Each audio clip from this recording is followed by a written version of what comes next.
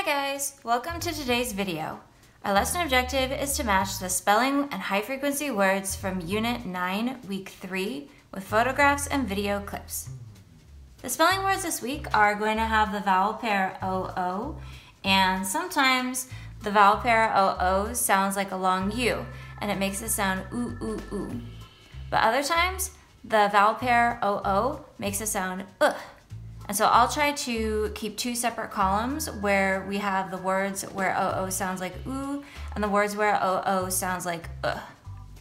We are also going to have two high frequency words that do not have the vowel pair OO.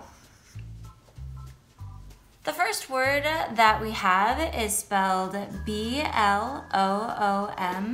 and it's pronounced bloom and the bloom is the part of the flower that has the petals.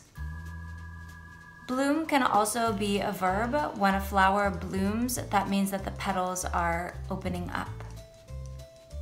The next spelling word we have is spelled G-O-O-D and it's pronounced good. So here O-O said ooh like bloom and here O-O says uh like good. And good is the antonym or opposite of bad. And if something is good, that means that it is positive, it's acceptable, you like it.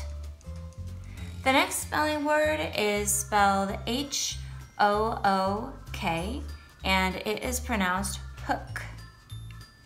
And a hook is a curved piece of metal and it might help you to think of a character from Peter Pan called Captain Hook. If you've ever seen the movie, um, Captain Hook's hand gets eaten by a crocodile, and so he replaces the hand with a hook, and that's where he gets his nickname, Captain Hook. You probably have some hooks around your house. Maybe you hang up your jacket on a hook. At school, we used to hang up our backpacks on hooks. So take a look around your house or apartment. Maybe you can find a hook too. The next word is spelled S-H-O-O-K and it is pronounced shook. And shook is the past tense of shake. So when you shake something, that means that you move it up and down very quickly and the past tense of shake is shook. The next word is spelled S-M O O T H, and it is pronounced smooth. And if something is smooth, that means that there are no wrinkles. Um, it's just very even. And smooth can also be a verb. Uh, so for example, if you're trying to spread frosting over a cake and you don't want there to um, be any ripples, you would say that you want to smooth frosting onto the cake. The next word is spelled S-O-O-N and it is pronounced soon. And soon is a kind of a vague measure of time and it refers to not a lot of time. So if you ask your mom to play a game with you and she says soon, what she means is not very long. It's not gonna take me a long time, but soon we'll play the game but it's not exact. So she could mean five minutes, she could mean 10 minutes. If you wanna know the specific amount of time, you should ask. But soon implies that it won't be a long amount of time.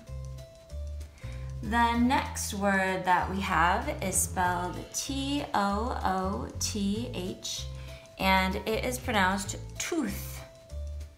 And you've probably lost a tooth at this point in your life. Um, teeth, that's the plural, are in your mouth and they help you to chew your food and break it down so that you can swallow it without choking. And if you put your tooth under your pillow, maybe the tooth fairy will come and bring you a treat. The next word that we have is spelled W-O-O-D and it is pronounced wood. And wood is a material you can use to build things some houses are made of wood. This table that I'm writing on is made of wood. Uh, wood comes from trees. And you can, again, look around your house or apartment and try to find some things that are made of wood. Let's take a look at the high frequency words. The first one is spelled A N O T H E R and it is pronounced another. And another is like a synonym for more. So if you have a cookie and you ask for another, you'd like more. You'd like one more. And that's what the word another means. The final high frequency word is kind of an interesting one. It's spelled D O E S, and it can be pronounced two different ways. The first way you can pronounce this word is does, and in that case, it's a form of the verb do. So if I say he does his homework, it's like saying he either did his homework or he is doing his homework. He does his homework. It's a form of the verb do. But this word can also be pronounced does. And a singular doe is a female deer.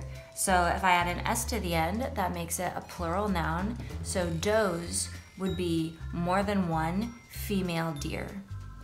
And I'm not sure if there's a special name for words like that that are able to be pronounced multiple ways. If you know of a name for those types of words, definitely send me an email or leave me a comment in Google Classroom. I'd love to know. Uh, but there are several words in the English language that can be pronounced differently, and the way you pronounce the word will change the meaning of the word. And this is a great example of that. It can be pronounced does or does. I have put together a collection of uh, video clips so that you can try to identify your spelling words. You'll have about eight seconds to try to tell what spelling word or high frequency word I'm representing. Then after those eight seconds, the spelling word will appear in the bottom left-hand corner of the screen, and I'll say the word aloud so that you'll know whether you guessed correctly or not. Good luck identifying your spelling and high frequency words. Hook.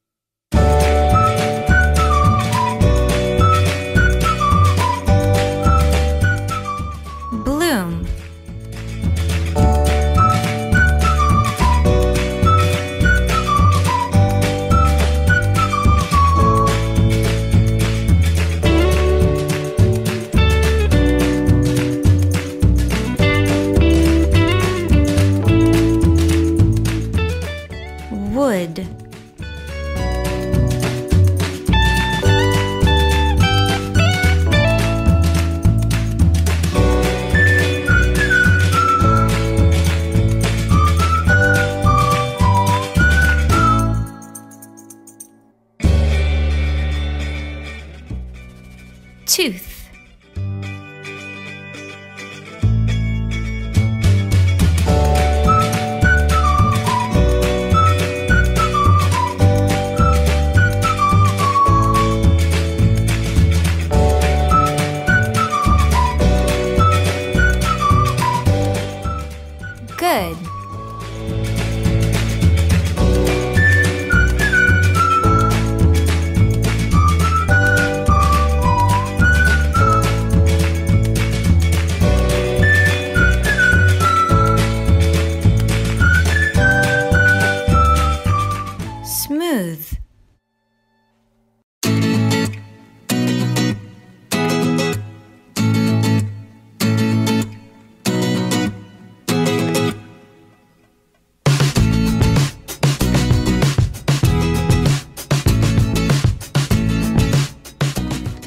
Shook.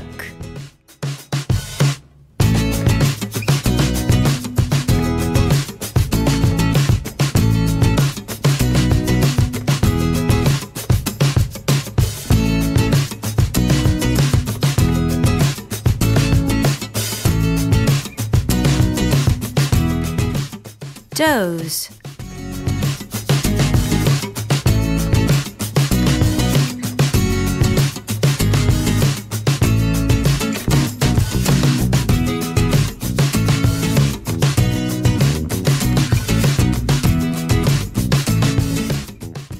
Another.